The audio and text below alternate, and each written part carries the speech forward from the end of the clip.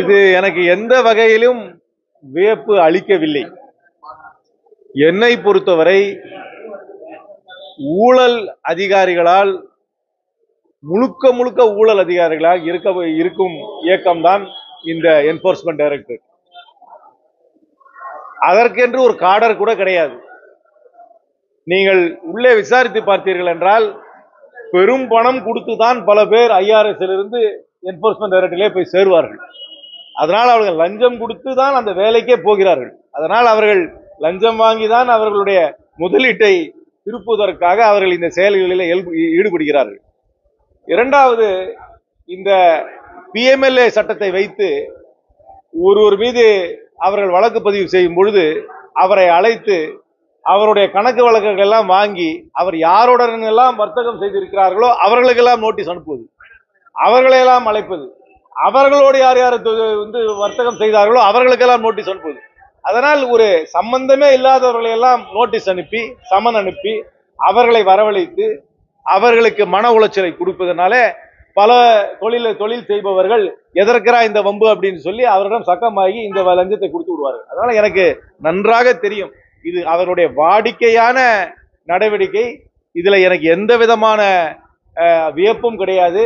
இந்த அன்கித் திவாரியை போலதான் அங்கு நூற்றுக்கணக்கான அதிகாரிகள் இருக்கிறார்கள். நான் மீண்டும் மீண்டும் சொல்கிறேன் இந்த அமலாக்கத்துறை இழுத்து மூட வேண்டும். சிபிஐ ஒரு நல்ல இயக்கம். சிபிஐல எக்கனாமிக்ஸ் அஃபென்சஸ் விங் என்ற ஒரு ஒரு அமைப்பு இருக்கிறது. அந்த விங்கே இந்த வேலையை கண்டிப்பாக செய்யும். இந்தியாவுக்கு அமலாக்கத்துறை என்ற ஒரு இயக்கமே இருக்க தேவை கிடையாது.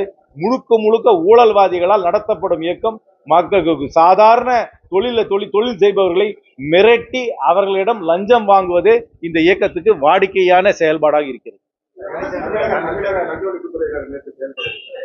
நியாயம்தான். என்ன- பொறுத்த வரைக்கும் எல்லாமா நீங்க இடியில இருந்து இடியில இருந்து அஞ்சு வருஷம் ஒர்க் பண்ணிட்டு வெளியே போறாங்களே அவர்களெல்லாம் என்கொயரி பண்ணாலே தெரியும் எவ்வளவு ஊழல்வாதிகள் அங்க இருக்கிறாங்கன்னு. அதனால முழுக்க முழுக்க தமிழ்நாடு டிவிஎஸ்சியோடைய இவருடைய நடவடிக்கையை நான் வரவேற்கிறேன்.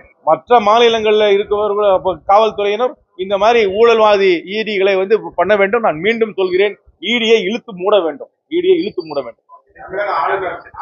இடைத்தேர்தல் கிடையாது. வந்திருக்கிறது பொது தேர்தல். ஐந்து மாநிலங்களுக்கு பொது தேர்தல். இந்த பொது தேர்தலில் ஐந்து மாநிலங்களிலே பெரும்பான்மையான மாநிலங்களிலே காங்கிரஸ் கட்சி ஆட்சி அமைக்கும் என்று முழுமையாக நம்புகிறேன். மூன்று நிச்சயம் ஐந்து லட்சியம்.